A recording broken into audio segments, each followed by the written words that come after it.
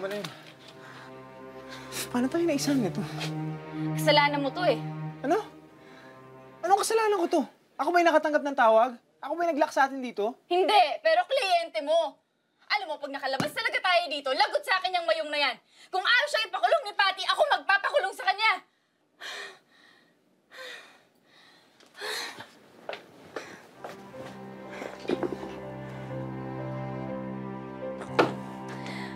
Wala akong signal. Wala rin akong cellphone, nasa kotse. Ano? Nagmamadali tayo eh. Paano ko sasabihin kay Red na si Daniel ang ayaw magpatulong sa mga alferos? Wala na ako magagawa. Wala ka nga ba talagang magagawa?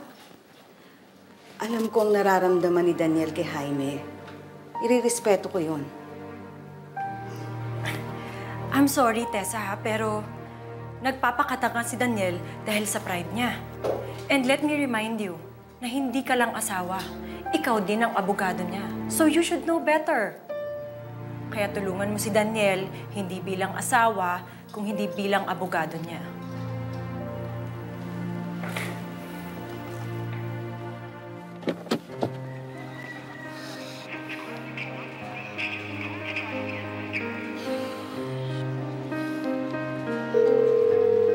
Ramirez and Associates. Steph, nandiyan si Ella? Ay, alam ko pumunta siya kay Miguel para dun sa kaso niya. May iwan ka bang message? Ah, hindi. Salamat na lang.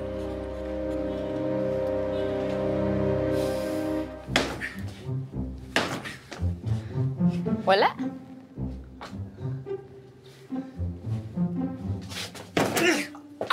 Ayan. Grabe, ang hina mo naman. Subukan mo. Sinusubukan? Go. Pag yan, nabuksan ko ah. Sige. Go.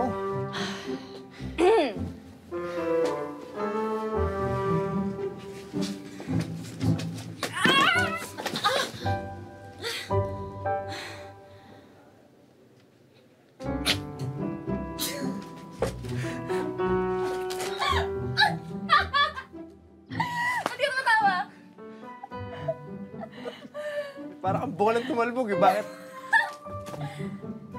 Asar ka. Hi, Gael. Um, Uy, hi, Denise. Ano ba si Miguel?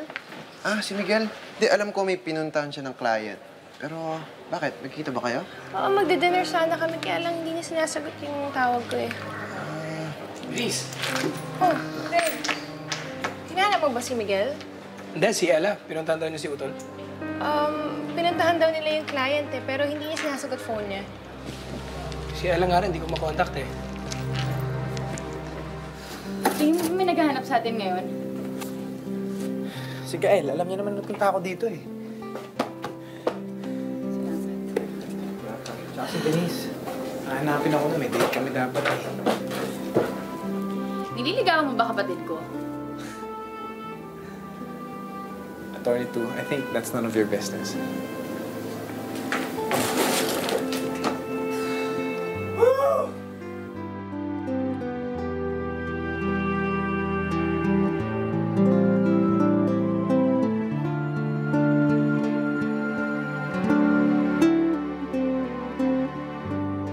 Nangyari kaya sa kanila? Alam mo ba kung saan sila pumunta? Pinuntahan yung client, pare. Ito yung address, oh. Ayan. Ay. Ah, Attorney 2? Anong ginagawa mo? Naguhubad. Mahihimatay na ako sa init, no? Ba't hindi ka na lang kaya maghubad? Ay, ba't ako maghubad? Attorney Juan, ngayon ka lang ba nakakita ng babaeng nakasando? Ano ang tingin mo sa akin?